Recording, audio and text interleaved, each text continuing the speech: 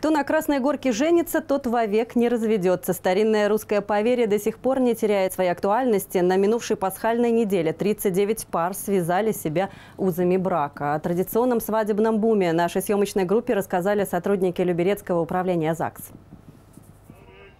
Традиционно весенний свадебный сезон начинается после завершения Великого Поста. В этом году праздник наступил 8 апреля, и многие влюбленные пары спешат узаконить свои отношения до начала мая. Ведь по еще одному древнему преданию, кто женится в этом месяце, тот всю жизнь промается. Хотя, как показывает статистика, такие браки, напротив, оказываются крепкими. Мы сами обратили внимание, что юбиляры семейной жизни – которых мы поздравляем, чествуем, кто прожил в браке 50, 55, 60 лет совместной жизни, а у них очень часто в мае именно вот этот юбилей. То есть это пары, которые много лет назад заключили брак в мае. И были года, когда Красная Горка выпадала на май, и все равно браки заключались, и разводов майских браков меньше.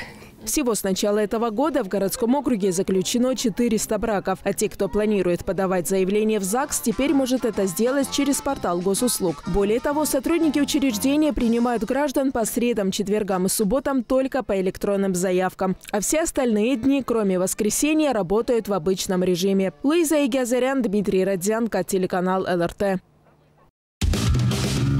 Всем привет! Я Наталья Григорьева. Вы смотрите ЛРТ. Подписывайтесь на наш канал на Ютубе, ставьте лайки и всегда будьте в курсе интересных событий.